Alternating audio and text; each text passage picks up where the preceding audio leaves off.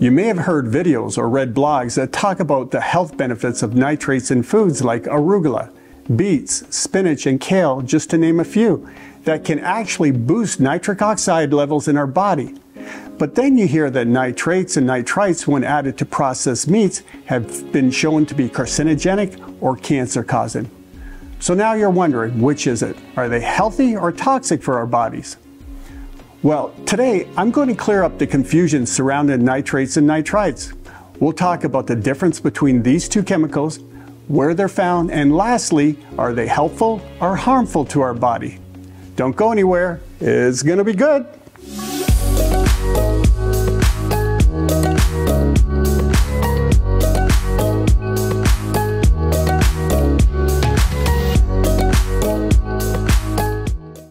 Nitrates and nitrites are both chemical molecules containing nitrogen and oxygen.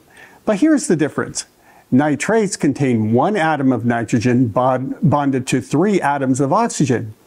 On the other hand, nitrites have one atom of nitrogen bonded to only two atoms of oxygen. So how do we get exposed to these chemicals? Well, these molecules exist widely in plants, water, dirt, and even air. In these mediums, some of these nitrates and nitrites occur naturally, while others are synthetically produced. Nitrates are part of a natural mineral deposit, while nitrites are formed when microorganisms break down animal matter in the soil. For instance, vegetables acquire these chemicals from the soil they're growing in. So when you eat leafy greens like arugula, cilantro, butterleaf lettuce, they're naturally high in nitrate content. The nitrates that you get from eating vegetables are broken down and converted into nitrites and nitric oxide in the body. And nit nitric oxide can support cardiovascular health, boost immune function, and support mitochondrial health, and also regulate life and death of cells. Research also shows that it plays a significant role in protecting the stomach lining, preventing metabolic disease and heart disease. So you're probably wondering right about now, well, if this is true, why are we told that nitrates and nitrites cause cancer? And I love this question because it tells me that you're thinking on your feet and that's what it takes to stay healthy and reclaim your health. So let's take a closer look.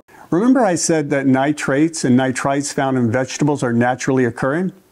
Well, there's also synthetically produced nitrates and nitrites like sodium and potassium nitrate or nitrite. Manufacturers add these synthetic chemicals to foods like cured sandwich meats, bacon, hot dogs, salami, and sausages to give them color, to stop bacterial growth, and to prolong shelf life. Now, here's where the problem comes in. When you consume meats with these synthetic chemicals, the acidic environment in your stomach breaks them down into a compound called nitrosamines.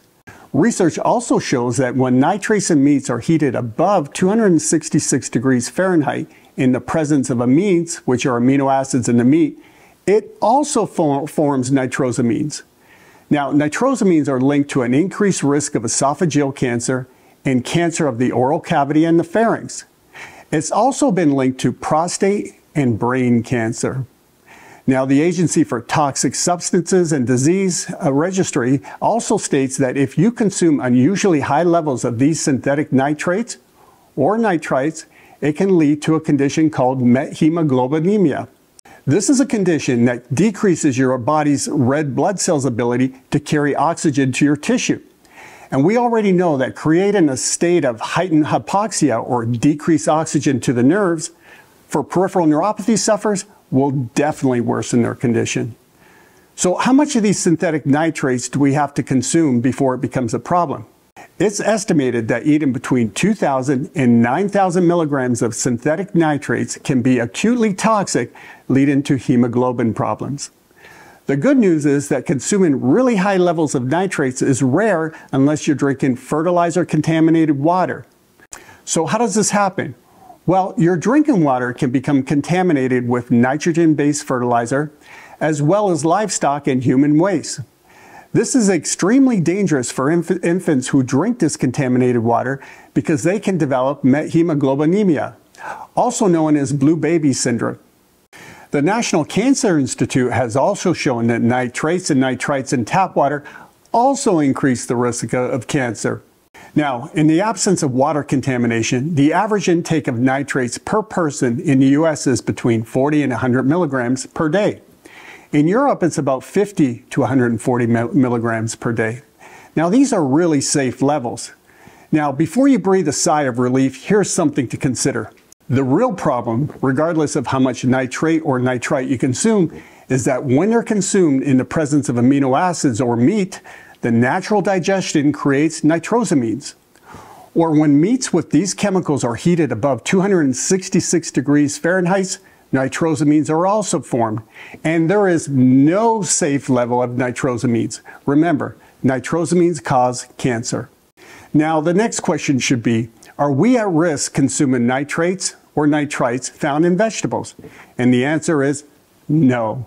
Research shows there's a tremendous difference in the way the body processes all natural nitrates and nitrites versus synthetic. For instance, natural nitrates and nitrites consumed in vegetables don't get converted to nitrosamines like they do with their synthetic counterparts.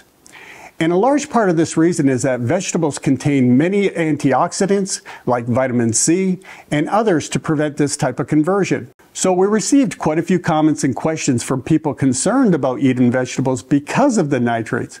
So now you know, health explorers, consuming vegetables like arugula, cilantro, butterleaf lettuce, Swiss chard, and many others will safely increase nitric oxide levels without raising the risk of harmful nitrosamines. So don't avoid these extremely beneficial vegetables. Now, some people might say you still shouldn't eat them because of the dreaded oxalates. Here's what I can tell you. The story of oxalates is so misunderstood and misrepresented, but you'll have to wait and stay tuned for our upcoming video on this topic. So make sure you click on the bell so you get notified as soon as we release this video. And don't forget to like us or share our video with others who need our guidance. The peripheral neuropathy road is lonely and, and, a scary one, so we want to reach as many people as possible and let them know that they're not alone and there is hope. Well, that's it for now, Health Explorers. No more excuses. So make sure you eat your dang veggies. I look forward to seeing you on the road to great nerve health.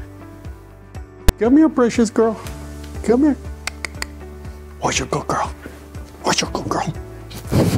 Huh? Shut your good girl. Yeah. Yeah. Okay, go lie down. Down. Hello? Go lie down. Good girl.